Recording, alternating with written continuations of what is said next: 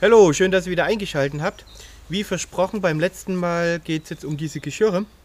Das heißt, der Unterschied zwischen den, wie heißen die Dinger? Safety. Safety, Safety First. Safety-Geschirre, die meiner Meinung nach auf fälschlicherweise als Zuggeschirre bezeichnet werden.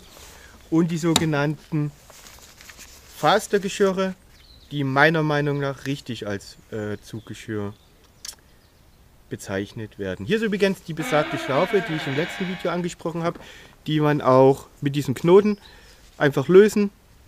Und da kann man das Ganze verkürzen oder verlängern, die Schlaufe, damit praktisch der Hund nicht in die Neckleine läuft beim Ziehen.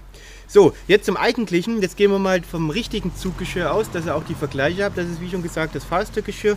Die einen oder anderen kennen das. Hier ist der Kopf des Hundes. Jetzt nehmen wir mal Pfiffi, der hat sich mal wieder bereit erklärt. Das Ganze sieht ungefähr dann so aus. Das ist jetzt ein bisschen zu groß, logischerweise, für Pfiffi. Mm, Und so sieht das dann aus. Und hier sieht man ganz einfach, wenn hier Zug drauf kommt, weil unser Hund möchte ja ziehen, verlaufen, verläuft die Kraft bzw. die Last gleichmäßig links und rechts an den Seiten des Hundes lang. Und hier haben wir dann ungefähr die Anbindung, auf der anderen Seite logischerweise auch. Und das eigentliche, der eigentliche Druck auf den Körper des Hundes ist direkt hier in der, in der vorderen, ähm, auf dem vorderen Teil ausgeprägt.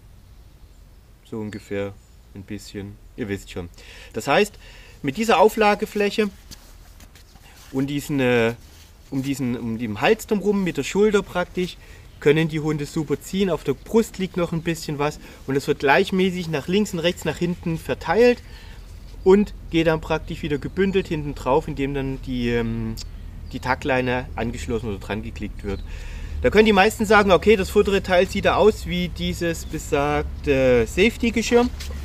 Sieht eigentlich, habt ihr eigentlich recht, es ist wie als ob man das Safety oder ob man praktisch angefangen hätte, in Phase zu basteln und irgendwann mal keine Lust hatte mehr. Lassen wir kurz den Traktor vorbei. Ähm, und somit ist er dasselbe. Also im Grunde genommen schon. Hier vorne hat man wieder diesen äh, Ring. Jetzt nehmen wir mal Pfiffi wieder. Vorne kommt der Kopf, mit der Brust wird gezogen. Allerdings ist hier die Anbindung, geht dann links und rechts nicht nach hinten durch, sondern die Anbindung ist hier vorne, hier oben drauf. Sorry. Also sehr, sehr einseitig. Und wenn ich jetzt hier Zug drauf bringe, merkt ihr ganz einfach, verschiebt das Ganze. Das zieht hinter. Und praktisch so verschiebt sich das ganze Geschirr und der Hund kriegt direkt hier im Halsbereich immer die ganze Zeit diesen Druck drauf. Und das sollte meiner Meinung nach nicht sein. Das ist, also das ist eine super Alternative fürs Spazierengehen vielleicht. Wobei wir da auch gern die, ähm, die Zuggeschirre nehmen. Aber, ähm, aber dann nehmen wir sie gern mal die. Oder fürs Anschnallen im, im Auto sind die auch super gemacht. Wenn der Hund nicht permanent ziehen muss oder will. Aber fürs permanente Ziehen ist das Zuggeschirr um einiges besser geeignet, weil ähm, sich die Kraft um einiges besser verteilt.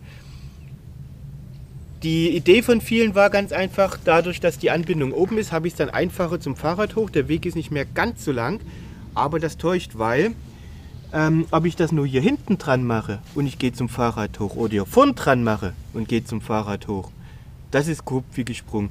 Hier ist die Führung um einiges angenehmer für den Hund, als sie, als sie hier ist. Weil, wie schon gesagt, die Höhe ist ungefähr das gleiche. Bloß, dass es mal so als solches mal betrachtet. Ein Tipp für die, für die Safety-Geschirre. Wir haben die Erfahrung gemacht, dass die ähm, eine komische Größenangabe haben. Da gibt es Zwischengrößen, da müsst ihr wirklich mal ganz genau messen, euren Hund, wenn ihr mal so eins benötigt. Dass ihr auch die richtige Größe habt. In den äh, gängigen Größen SML zum Beispiel, da gibt es noch Zwischengrößen, aber wir bleiben jetzt mal bei äh, SML, haben wir die Erfahrung gemacht, unsere Rüden haben hauptsächlich eine L bei den Faster-Geschirren und eine M bei den Safety-Geschirren. Die Mädels haben eine M bei den Faster-Geschirren und eine S bei den Safety-Geschirren. Also das ist äh, eine, eine ganze Größe kleiner kann man das nehmen. Nur so als, als Richtwert, bitte jetzt nicht gleich für bare Münze nehmen, sondern messt wirklich nach, dass ihr auch das richtige Geschirr für euren Hund habt. Jeder fällt anders aus, aber das sind jetzt so äh, mal ganz allgemein ausgedrückt so die gängigen Erfahrungswerte. Ich denke, Ich habe alles. Kannst du vielleicht nochmal drauf eingehen, weil mich hat jetzt mal einer ausgelacht im Internet, dass wir zum Spazierengehen die Faste nehmen, dass man es wirklich zum Spazierengehen super verwenden kann. Du hast das jetzt nur ganz kurz eingeflochten. Warum wie ausgelacht? Na, da hat einer gefragt, welche Geschirre sind denn für Canicross geeignet? Und da habe ich gesagt, ah, die Faste sind echt gut. Und da hat die gesagt, die Faste, das ist was für Zugarbeit am Gespann und dann nie fürs Laufen. Was willst du denn da mit dem Faste-Geschirr?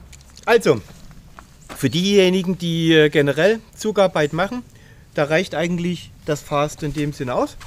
Da könnt ihr auch mit denen spazieren gehen, wenn ihr unbedingt an die Leine nehmen möchtet. Geht genauso.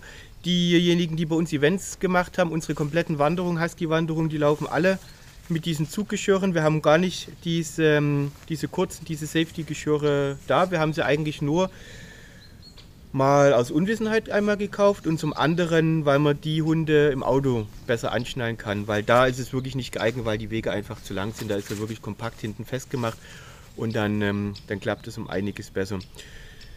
Genau, das ist das eine. Wenn ihr da Fragen habt, schreibt uns eine Mail. Schaut mal bei uns auf der Page vorbei.